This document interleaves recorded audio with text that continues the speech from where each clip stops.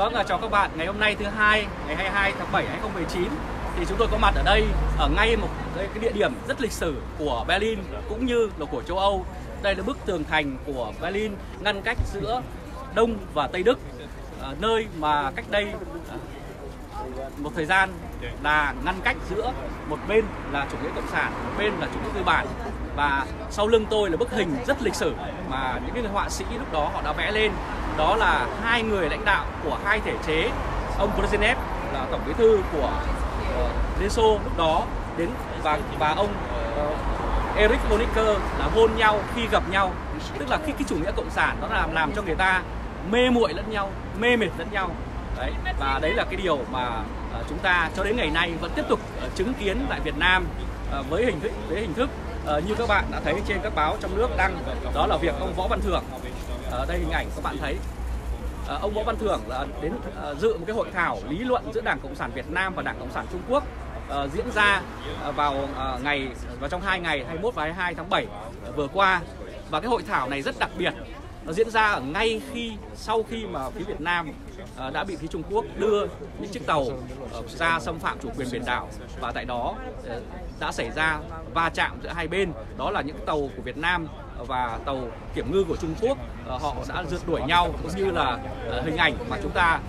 thấy chia sẻ trên mạng xã hội và các ờ, trang truyền thông khác. Đó là việc những chiếc tàu Trung Quốc đã vào vùng đặc quyền kinh tế của Việt Nam để họ thăm dò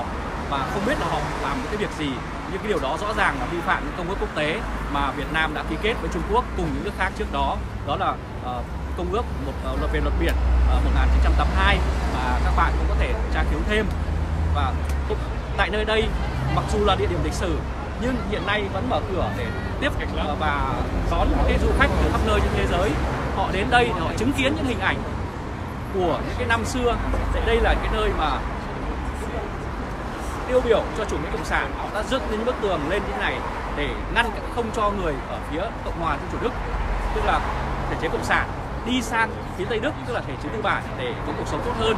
Và bức tường này đã được ngăn lên ngăn đôi nước đức ra. Và nhưng việt nam của chúng ta thì hiện nay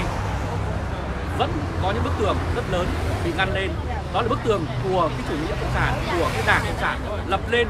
để ngăn cả nước việt nam tiếp xúc với thế giới, tiếp xúc với những cái văn minh như thế này. Các bạn thấy trực tiếp, đây là rất nhiều người từ rất nhiều nước trên thế giới, từ Trung Quốc, từ Nhật Bản, từ Hàn Quốc, từ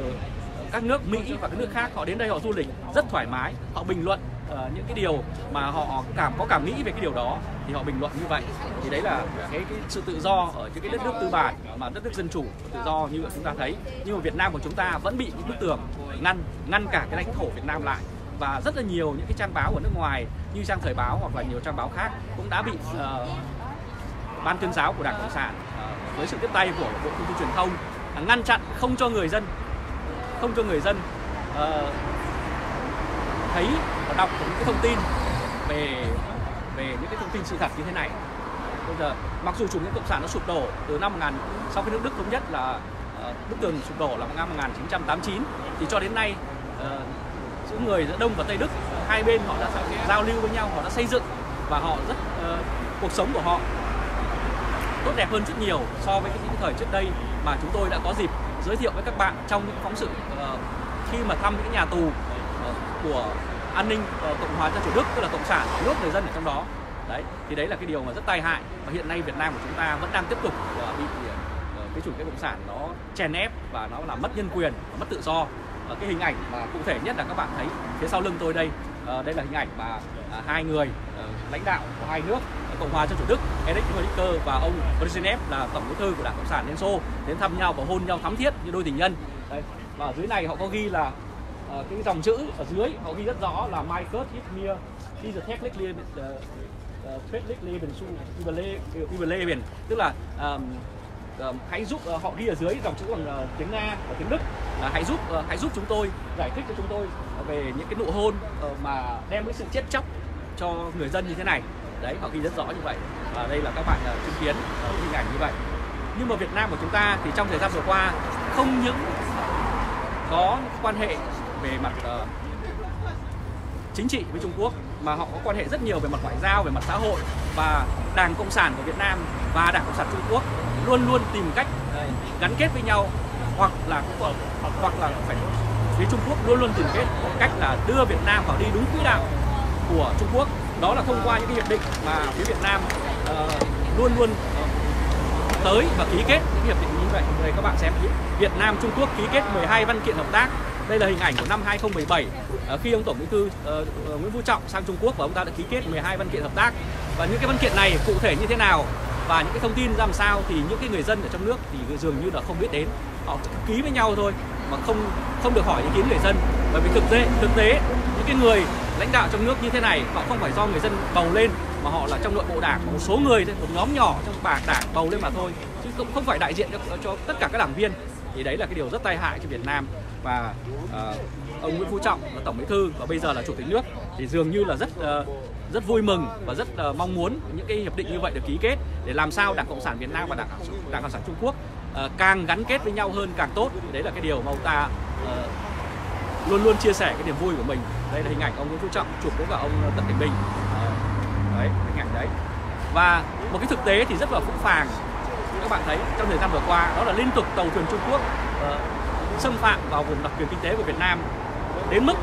uh, trong nước không đưa tin và khi quốc tế đưa tin rất lâu rồi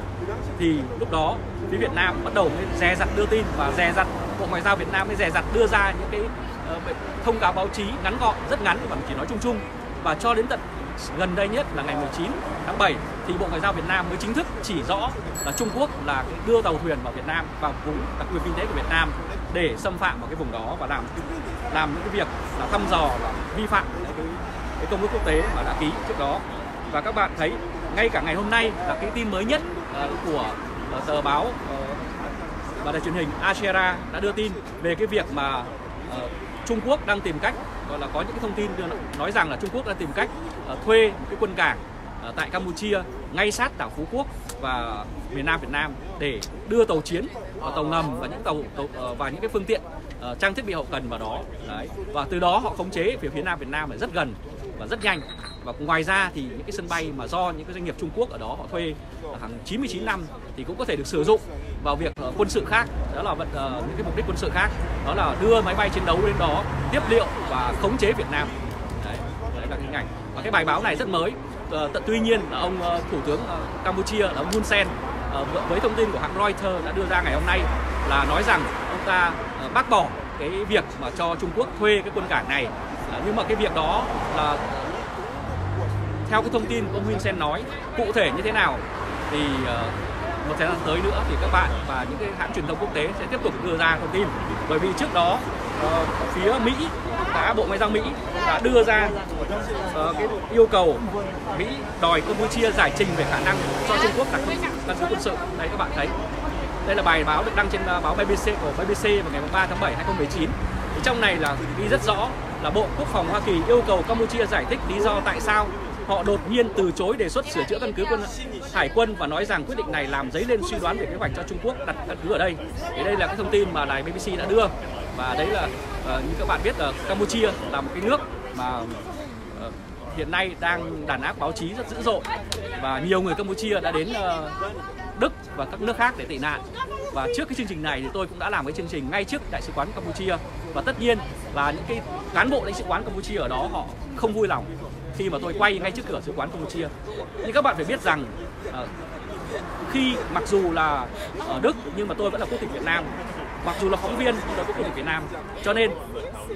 những cái điều mà liên quan đến quyền lợi uh, của của Việt Nam thì tôi vẫn phải đưa tin. Và thậm chí có những lúc phải chịu những cái khó khăn uh, nhất định ở bên này uh, tại Đức uh, để có thể đưa được thông tin để có thể đưa ra được cái chính kiến uh, của những người dân Việt Nam. Uh, trước những cái nhà cầm quyền độc tài như trước đại sứ quán Trung Quốc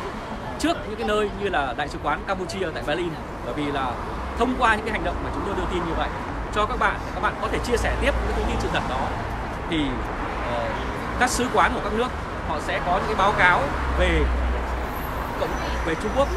sứ quán của Campuchia báo cáo về Campuchia về về vào về Campuchia. Thế thì như vậy là những cái thông tin này nó sẽ có góp phần vào cái việc mà có cái sự hiện diện của tiếng nói của người Việt Nam đối với cả ờ, những cái cơ quan ngoại giao của những nước đó ở nước ngoài và nó có tác động nó sẽ có tác động không nhỏ tới cái quan hệ uh, ờ, với cái, cái chính sách đối ngoại của những nước đó.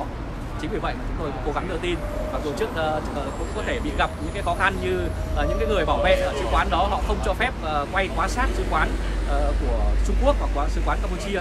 Nhưng mà uh, cái gì uh, những cái việc mà đưa những thông tin như vậy đến được các bạn thì đấy là một cái điều hết sức cố gắng của chúng tôi cũng như là những cái anh em ban biên tập của tờ thời báo DE và và các bạn cũng đã biết uh, ngoài cái việc có bất thưởng uh, tại sao sau khi bà uh, bà Kim Ngân uh, bà chủ tịch quốc hội Việt Nam vừa từ Trung Quốc trở về thì lập tức Võ Văn Thưởng lại sang Trung Quốc. Nhưng mà trong cái cuộc nói chuyện của ông Võ Văn Thưởng với uh, phía Trung Quốc ở trong cái hội nghị đó thì uh, thì các bạn đã thấy đây hình ảnh của mình đây cái hội thảo lý luận đây. Và từ ngày 21 đến 22 tức là ngày đến ngày hôm nay tức là đến ngày hôm nay mới kết thúc. Thì trong cái hội thảo này thì phần cuối của bản tin thì ông Võ Văn Thưởng cũng có nói rằng nói về vấn đề chủ quyền uh, của Việt Nam và, và những cái hiệp ước ờ, về luật biển ờ, 1982 thì đó có lẽ là những cái điều mà cái điều mà quan trọng nhất mà Võ Văn Thưởng có thể làm được trong lúc này. Bởi vì có thể đây là những cái lý do mà Võ Văn Thưởng phải sang Trung Quốc khi mà hai đất nước uh, vẫn đang còn cùng chung thể chế cộng sản tức là các bạn nhìn thấy tức là uh, Trung Quốc và Việt Nam đều là dùng đều dùng uh, hiện nay vẫn đang sử dụng đảng cộng sản làm cái thể chế uh, để uh, cai trị người dân. Thì nhưng mà họ lại có những cái mâu thuẫn rất trầm trọng với nhau. Đó là mâu thuẫn về việc mà Trung Quốc tiếp tục uh, chiếm giữ những cái vùng chủ quyền uh, biển đảo của Việt Nam uh, mà họ đã chiếm uh, vào năm 1974 của Việt Nam Cộng Hòa tức là cũng là của Việt Nam. Ờ, thì và ngoài ra năm ờ, cũng thời gian cũng ờ, sau đó một thời gian thì họ đã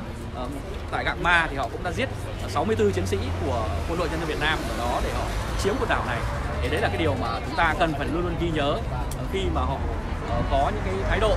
ở Campuchia khi mà họ có thái độ ở biên giới phía Bắc khi mà họ có thái độ ở vùng biển uh, biển Đông của Việt Nam. Và hy vọng rằng Việt Nam trong thời gian tới đây với những cái sự phát triển của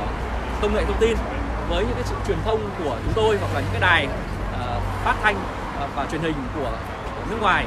họ, họ hoàn toàn độc lập những thông tin ở trong nước cũng như là độc lập với các đảng phái chính trị thì điều đó sẽ giúp người dân Việt Nam hiểu biết hơn thực tế cuộc sống ở những nước uh, dân chủ và văn minh uh, như Cộng hòa Liên Đức và nước các nước châu Âu khác. Uh, ngoài ra uh,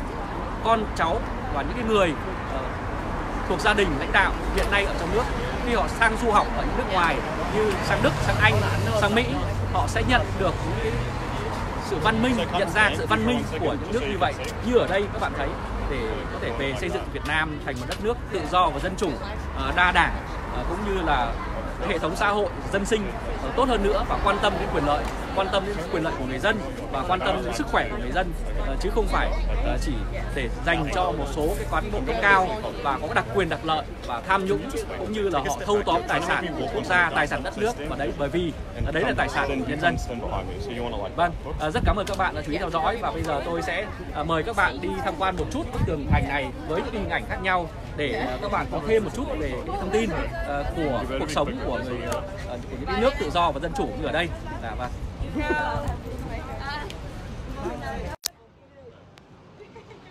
Đây các bạn thấy không? Ở đây là cả một cái quãng đường dài và quãng đường này, nó, quãng đường này là kéo dài ngay từ trung tâm Berlin đi ra và đây là bức tường thành rất dài. Ở trước đây bất cứ những, bất cứ ai khi mà đi tham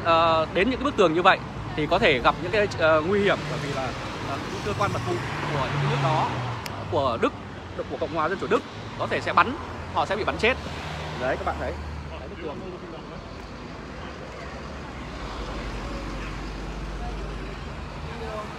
Và đây là những cái bức tranh họ vẽ ở trên những bức tường đó. Đấy các bạn cùng đi xem đấy đây là những cái người mà đến từ các nước từ các nước đến có thể từ Nhật Bản từ Hàn Quốc từ ờ, nhiều nước khác họ đến. Đấy là những bức tranh và đây là ghi là Berlin Mauer ờ, tức là đây là cái di tích lịch sử. Và cái cái cái tự, bức tường này họ ghi rất rõ là bị xây dựng, tức là họ dựng lên Cộng hòa Dân chủ Đức, tức là thể chế cộng sản dựng lên từ năm 1961 đấy. Và cho đến năm ờ, đến năm 1989 tháng 9 năm 1989 thì ờ, bức tường đã bị sụp đổ, tức là đông và tây họ đã có phía đông họ đã tràn sang phía tây tây Đức và những cái bức tranh này ví dụ bức tranh này được vẽ vào năm 1990 và và phục hồi phục chế lại vào năm 2009 đấy đây là những bức tranh mà những bức tường này và hiện nay vẫn là cái di tích lịch sử mà uh, phía nước Cộng hòa Liên bang Đức vẫn tiếp tục giữ lại để uh, phục vụ người dân uh, tham quan và biết được cái tội ác uh, của ừ, chủ nghĩa cộng sản ở thời Cộng hòa Dân chủ Đức. Và đây các bạn thấy người dân từ khắp nơi trên thế giới đến đây để du lịch, để tham quan và cái bức ảnh mà các bạn ờ, vừa được xem truyền hình trực tiếp là bức ảnh rất nổi tiếng này là hai hai vị lãnh đạo Brezhnev và ờ, uh, Erich Honecker tức là hai cái lãnh tụ của Cộng hòa Dân chủ Đức và lãnh tụ của Cộng hòa của Liên Xô đã uh, hôn nhau. Và đây là họ nói rằng đây cái, cái nụ hôn chết chóc. Đấy. Và đây người ta đứng chụp ảnh chung với nhau. Đây, các bạn thấy không? Ở đây là thế hệ trẻ rất trẻ từ khắp nơi và hy vọng rằng đến lúc nào đó Việt Nam của chúng ta cũng sẽ có uh, cái uh, điều kiện uh, không phải xin visa khi sang Đức để uh, để những cái người này uh, các bạn có thể đến uh, trực tiếp xem uh, và tham quan uh, khi uh, muốn rời, uh, rời khỏi Việt Nam đi du lịch. Đây là những hình ảnh uh, mà bức tường đó đã được uh, vẽ lên trên bức tường đó và đây là những cái hình mà họ vẽ về cái việc mà đã những cái người mà bị ờ, áp bức. Còn đây là bức tranh vẽ về hòa bình. Đây và đây là bức tranh này thì lại dùng à, vẽ về những cái à, bức bức tranh khác và có một cái cây được trồng lên. Đấy. Và và xung quanh đây thì sau khi nước Đức thống nhất thì họ đã xây dựng rất nhiều và trở thành một đất nước tự do và dân chủ. Vâng, rất cảm ơn các bạn đã chú ý vào xem chương trình truyền trình trực tiếp của chúng tôi từ Berlin, Cộng hòa Liên bang Đức ngày hôm nay 22 tháng 7 2019 và hẹn gặp lại các bạn vào chương trình lần tới. Và các bạn hãy bấm nút theo dõi của Facebook Lê Trung Khoa, của Thời báo DE và của YouTube Thời báo.de để biết được những thông tin mới nhất.